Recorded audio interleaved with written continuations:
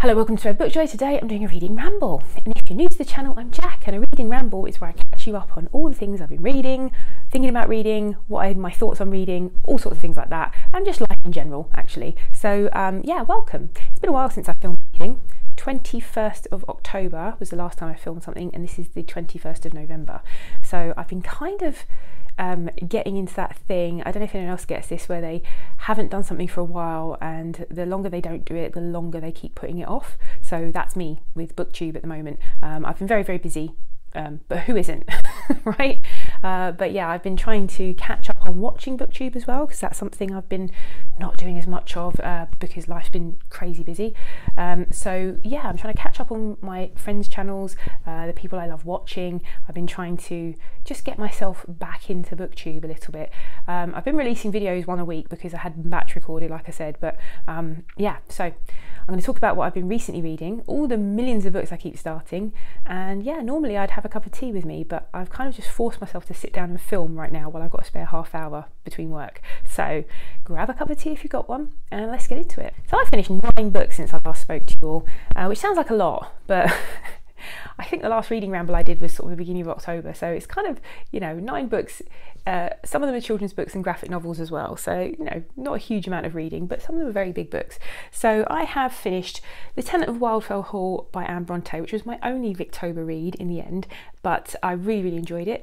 I started reading it with a lovely group who were listening to the audiobook, and that was being run by lovely Angela, whose channel I will link in the description box below. Please go and check her out. She's lovely. Go and follow her. But she put together a lovely group of people based on the group that I read Frankenstein with back in July for Jane Austen July. So they were a lovely group, but I had to drop out. Again, I've just basically had lots going on personally with family and all sorts of things that just basically meant I was just becoming a bit overwhelmed with everything and not being able to keep up with group reads and um, and that kind of thing. So I had to drop out of the group, but I carried on reading the book. But thank you, Angela, for spurring me on to read the book because I really, really enjoyed it but there will be a review to come. Then I finished the lovely uh, Tea Dragon Society trilogy. I read the first two books last year and I finished the Tea, Tea Dragon Tapestry, which is book number three by Kay O'Neill. And they're just lovely, cozy, fantasy, uh, warm, like diverse just gorgeous, gorgeous coziness. And this one in particular has amazing autumnal uh, scenes and aesthetic about it. So, yeah, it was just what I was in the mood for at the time. Then I finished Finding Bear by Hannah Gold, and I will have a review of this coming up, which is the follow up to The Last Bear, which is a middle grade book about a girl who befriends a polar bear, and it was a big hit last year, and this is the follow up. So I'm going to leave a link to my original review in the description box or on a card somewhere, and you can go and check that out if you're interested in it. And at some point, there will be a review of Finding Bear up on my channel. Then I buddy read Dead Man's Walk, which is the third book in the Lonesome Dove trilogy. Uh, trilogy? Quartet um, by Larry McMurtry. And I've been reading this with Sandy from Miss Reads a Lot. We're on the third book.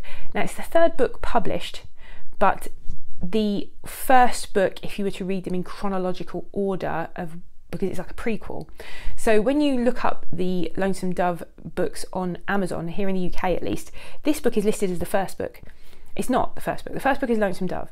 And having read Lonesome Dove, Streets of Laredo, which is the second book, which is down as books three and four, and the next two books are booked down as books one and two because they're prequels, um, you would be forgiven for thinking you should read them in this order.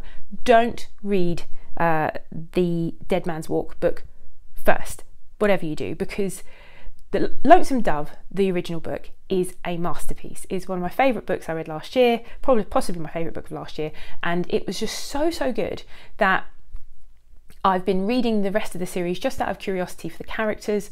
The second book, Streets of Laredo, was okay, nothing to write home about. The third book is great because we're kind of having a prequel of the characters from Lonesome Dove, the first book. We're going back and seeing their kind of origin story, if you like. And that's really great. And it's even better because we know what they become.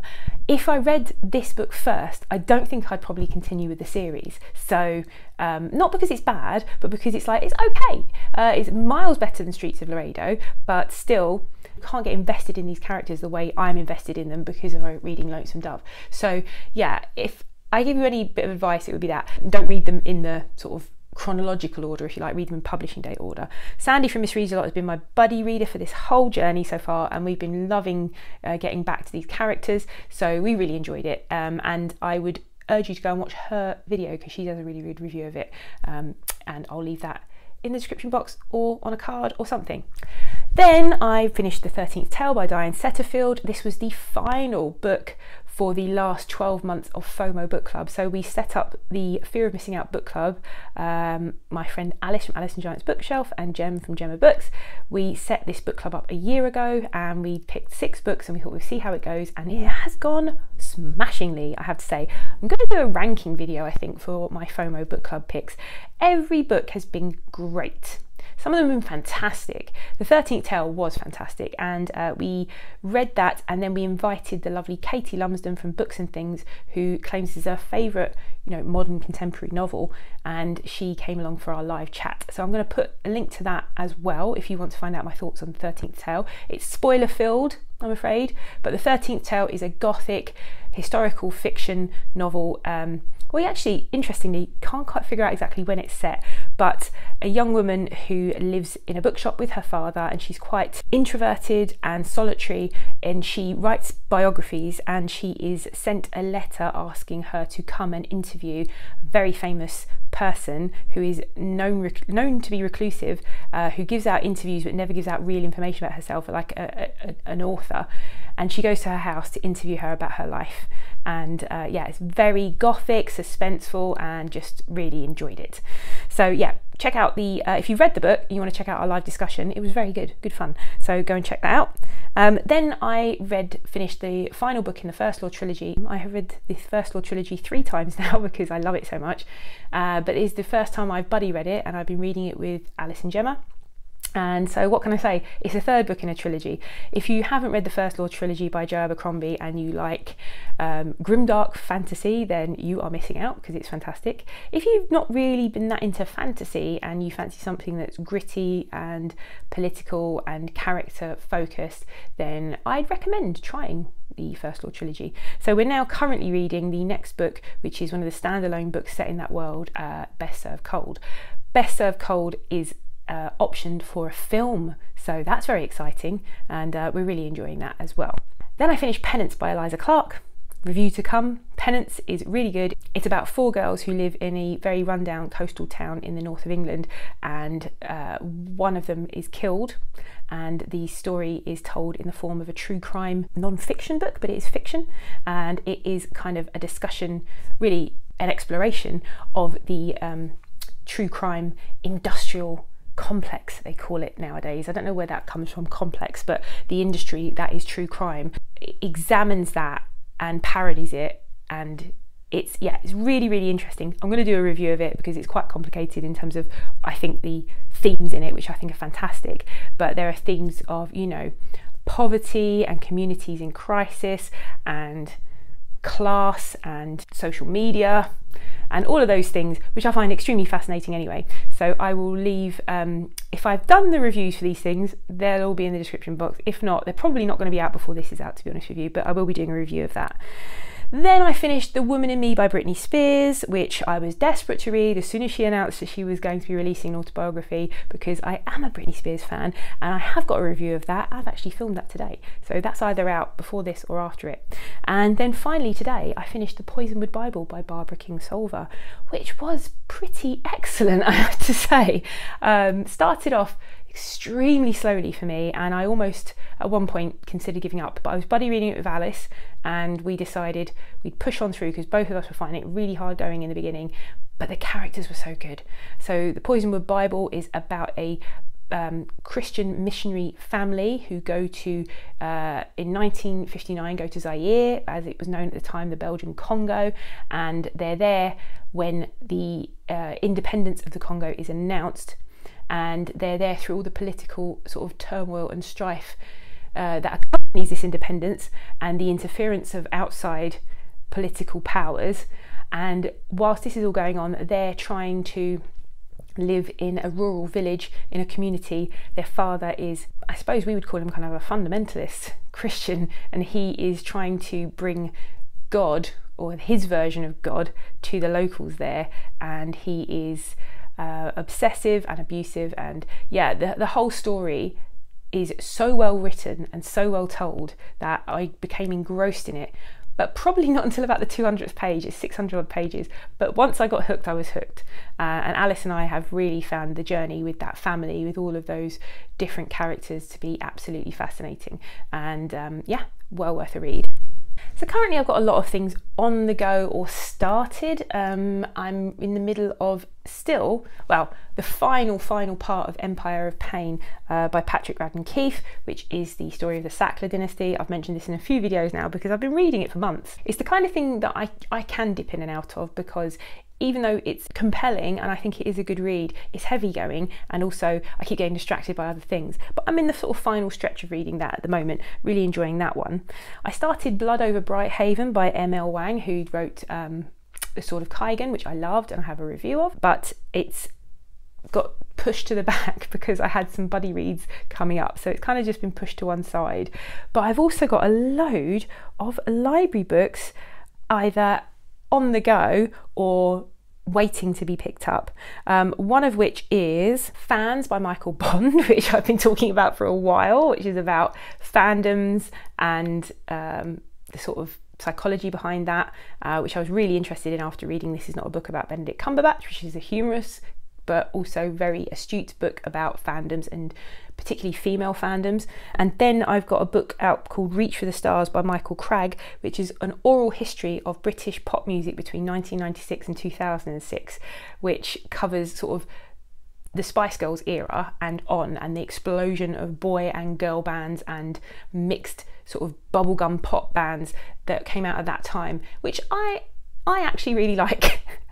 I like the music of that era. I find it kind of it's ridiculously cheesy and bubbly, but I like it. So I'm interested to get into this because apparently it's a proper tell-all about that time and about the issues that these pop stars, these young pop stars had with these squeaky clean images they were supposed to uphold and the things they were put through by their management, by the press, by, you know, just uh, when fame started to wane and what happened to them afterwards, you know. So it's really interesting. And I started off reading the first chapter, and it does start with the Spice Girls, and every Spice Girl, part, apart from Victoria Beckham, has got a, has been interviewed for this. So it's really interesting to see how they started. I'm not a huge Spice Girls fan, but I find that whole cultural phenomenon of pop bands, pop artists at that time really interesting, especially having recently read the Britney Spears biography. Uh, this was pre social media. This is pre them being able to directly talk to us as their fans or people who were their fans. I wasn't fans of all of these people, but I just find the whole phenomena really fascinating and finally hearing from them what it was really like to be them at that time.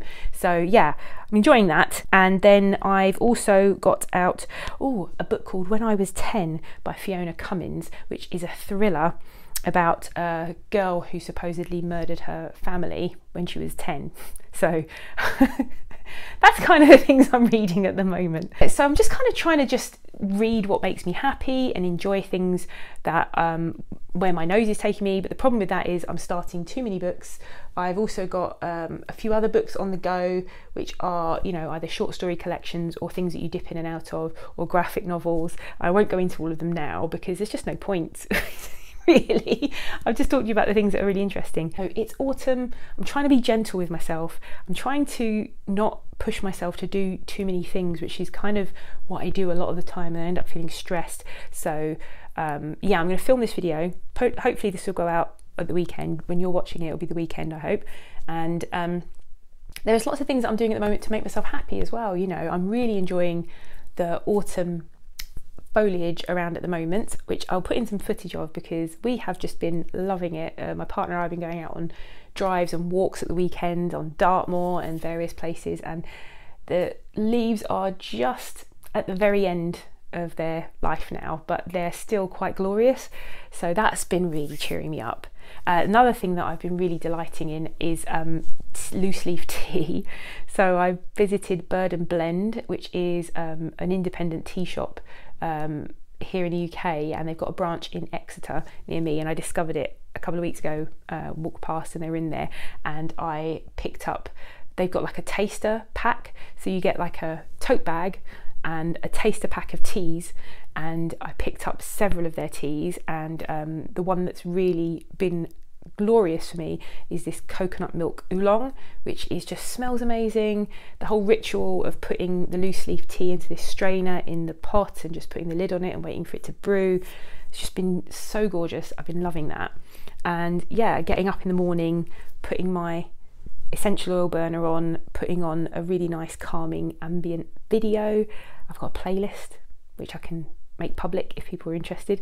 Um, but things like um, sort of lo-fi autumn videos or Studio Ghibli style videos. Um, I just put them on in the background while I read. And I'm just finding that really delightful. Also, all the cozy clothes, lots of cozy clothes and blankets and things like that. So yeah, that's what life's been like. So tell me, how have you been? What have you been up to in the cozy autumn months? What have you been reading?